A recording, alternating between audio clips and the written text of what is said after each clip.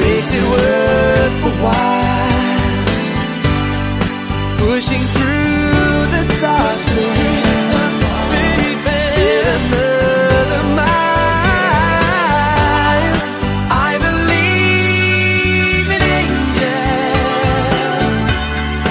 Something good.